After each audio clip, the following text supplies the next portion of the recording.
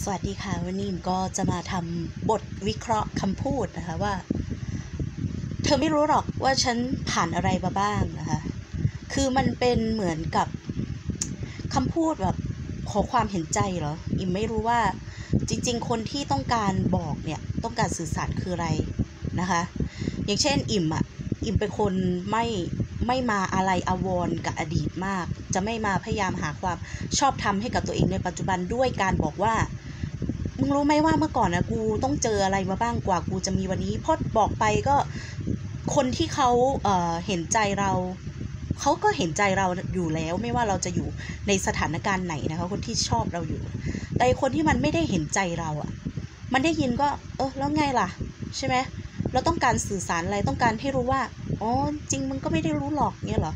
ไม่ได้หรอกว่ากูต้องเจออะไรมาบ้าง แล้วคำพูดเนี้ยมันค่อนข้างไม่เป็นธรรมนะคะ ถ้าจะบอกว่ามนุษย์ทุกคนอะ่ะมันต้องเจอต้องผ่านอะไรมาบ้างเนี่ยคือมนุษย์ทุกคนอะ่ะมันต้องผ่านเรื่องเลวร้ายกันมาทั้งนั้นนะคะ แล้วเราก็ไม่มีสิทธิ์ที่จะไปรู้ด้วยซ้ำว่าจริงๆแล้วคนที่วันเนี้ยเขาสามารถปรับสภาพจิตใจแล้วเขามีความสุขกับชีวิตเขามีอารมณ์ที่ดี เเขาผ่านทุกยากลำบากขนาดไหนนะคะ ไม่ใช่แค่ว่าคุณน่ะทุกอยู่คนเดียวนะคะ ไม่ต้องไปโยนว่าแหมมึงก็ไม่รู้หรอกว่ากูต้องเจออะไรมาบ้าง สิ่งที่มึงเจอมันเล็กกว่ากูต้องการสื่อสารอย่างนี้หรอคืออันอันนี้อิ่มถามเฉพาะบางคนนะ แต่ถ้าบางคนแค่มีความรู้สึกอยากจะระบายออกมา ในอารมณ์แบบบางทีอาจจะมีอารมณ์กวีหรืออารมณ์อะไรเงี้ยก็ก็อีกเรื่องนะคะ ก็อีกเรื่องอาจจะเหมือนกับว่าเหมือนบางทีเราคิด ขึ้นมาได้ แล้วเราก็อยากจะเขียนว่าเฮ้ยเธอก็ไม่รู้หรอกว่าจริง ๆ ฉันผ่านอะไรบ้างฉันถึงไม่สามารถที่จะทำอันนี้อันนั้นให้เธอได้นะคะ อะไรเงี้ยอืมแต่ส่วนที่อิ่มเห็นนะคะ ตอนเนี้ยอิ่มเห็นว่าอ้าวเอาเพลงลงแล้วก็บอกว่า มึงไม่รู้หรอกมึงไม่รู้หรอกอิ่มไม่รู้ว่าคุณสื่อสารถึงใครเออเพราะว่าอิ่มก็ชัดเจนไปแล้วว่า อิ่มกับคุณนะมีปัญหากันเรื่องอะไร ซึ่งมันเป็นเรื่องที่ง่าย และแก้ปัญหาง่ายมาก มันไม่ต้องมาเอาเรื่องอื่น ซึ่งไม่ได้เกี่ยวข้องกับเรามาอ้าง มันไม่ใช่มาอ้างหาความชอบธรรมกับว่า มึงรู้ไหมว่าชีวิตกูโอ้โหที่ผ่านมาชิมหายกูยากลำบากขนาดไหนเงี้ยเอาแล้วชีวิตอีอิ่มอะชีวิตอีอิ่มนี่ผ่านมาแบบสบายเหรอลูกคุณหนูอยู่ในสังคมไฮโซเงี้ยเหรอชีวิตอีอิ่มนี่สบายมากเลยไม่ต้องเจอภาวะกดดันใช่ไหมไม่ได้ปากกัดติดถีบใช่ปะเออถ้าจะมองในแง่ชีวิตนะคะเออแต่แต่ถ้ามองอีกแง่หนึ่งก็คือว่าอ๋ออิ่มไม่รู้หรอกคือถ้าหมายถึงสื่อสารกับอิ่มนะเอออันนี้นะถ้าสื่อสารกับอิ่มนะว่า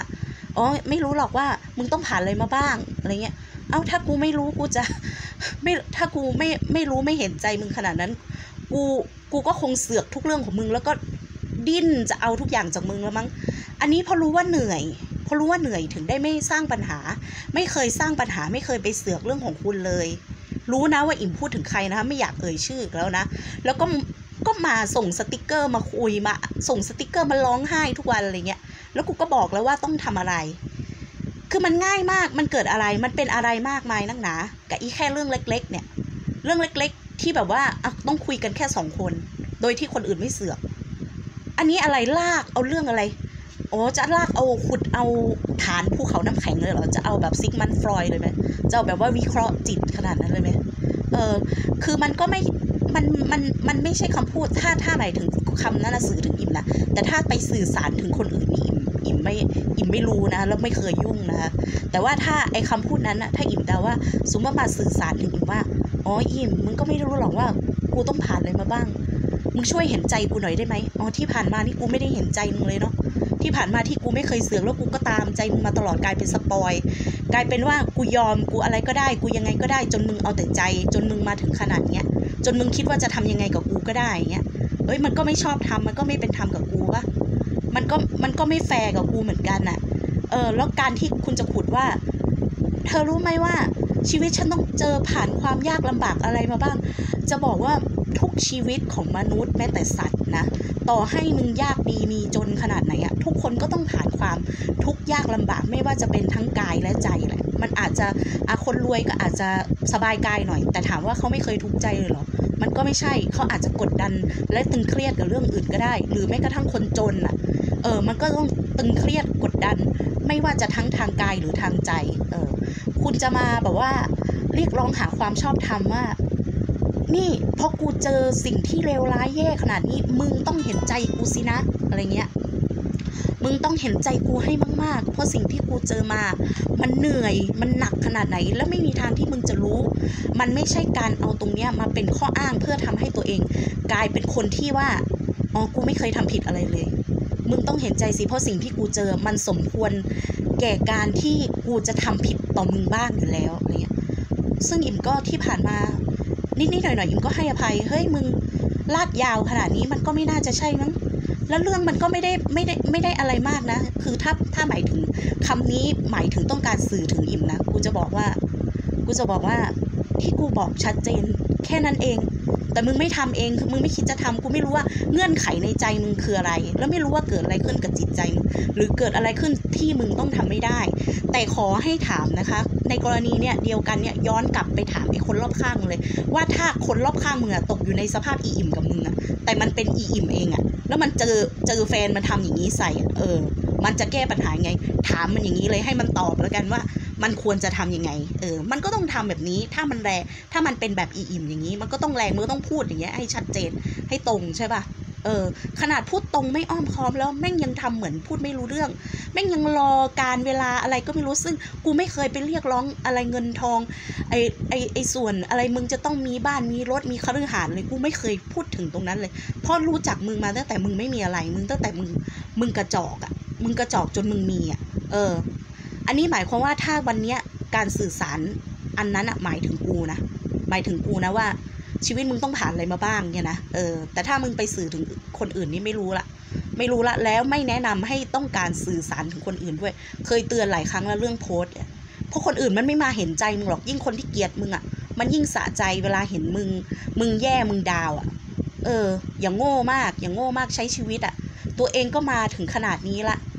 คือเตือนก็เตือนตั้งหลายอย่างเตือนไปหลายครั้งละแต่เหมือนกับว่าไม่ไม่อยู่ในโลกแห่งความเป็นจริงอะสมองอะเฮ้ยสมองคนเรามันต้องแบบเติบโตปะถึงได้บอกว่าให้ฟังทำให้ทำบุญให้นำทำนั่นทำนี่เยอะๆเพื่ออะไร เพื่อเราจะได้ได้ขัดเกาสมองเราให้มันฉลาดขึ้น เพราะว่ามนุษย์ทุกคนเราเกิดมาพร้อมความโง่อยู่แล้วไม่มีใครฉลาดมาแต่กำเนิด แต่เราต้องยอมรับในความโง่ของตัวเอง แล้วก็ค่อยๆ แก้ไขความโง่ของตัวเอง เพราะเราก็คงไม่อยากจะโง่ไปตลอด เออ ดังนั้นก็อย่างนี้เลยนะคะคำตอบก็คือว่าจะบอกว่าคุณอาจจะมีอารมณ์กวี อารมณ์นู่นนั่นนี่ก็ได้ แต่คุณจะมาใช้คำถามนี้จมอยู่กับตัวเองตลอดไม่ได้ แล้วไปใช้คำถามนี้กับทุกคนใช้ใช้คำพูดนี้กับทุกคนก็ไม่ได้อไอไอคำที่ว่ามึงรู้ไหมว่ากูต้องผ่านอะไรมาบ้าง ดังนั้นมึงต้องเห็นใจกูสิมึงต้องเห็นใจในสิ่งที่กูเป็นสิเฮ้ยมันจำเป็นป่ะคนอื่น คนอื่นเขาไม่ได้คิดขนาดนั้นหรอก เพราะเวลาเขาเดือดร้อนเขาตัวชีวิตต้องผ่านอะไรมาบ้าง คุณก็ไม่ได้เคยไปเห็นใจเขาคุณก็ไม่ได้ไปเคยไปช่วยเหลืออะไรเขาตรงนั้นเออแถมไม่พอมนุษย์ทุกคนมันก็ต้องผ่านช่วงเวลาความยากลำบากมากันทั้งหมดทั้งนั้นแหละ เออนะคะเอออันนี้ก็คือหมายความว่าถ้าหมายถึง หมายถึงคุณสื่อสารกับอิ่มอย่างนี้นะเออไม่ได้เกี่ยวไม่ได้เกี่ยวกับว่าไปพาดพิงเกี่ยวกับคนอื่นนะแต่ถ้าเกิดว่าคุณพูดถึงคนอื่นโดยใช้เพลงเป็นการสื่อสาร อันนั้นแล้วแต่เลย แล้วแต่เลยนะคะ แต่ว่าอย่างที่อิ่มเตือนตลอดก็คือว่า อิ่มเตือนเรื่องโพสต์ตลอดนะคะ โพสต์ตลอด เพราะว่าคุณคืออการโพสต์บางอย่างอะคนเห็นใจเรามันก็มี เพราะเขาชอบเราไงเขาถึงเห็นใจเรา แต่ถ้าเกิดว่าเขาไม่ได้ชอบเรา ไม่ว่ากรณีใด ๆ มันไม่เคยเห็นใจหรอกยิ่งมันเห็นคุณต่ำลงต่ำลงมันยิ่งสะใจ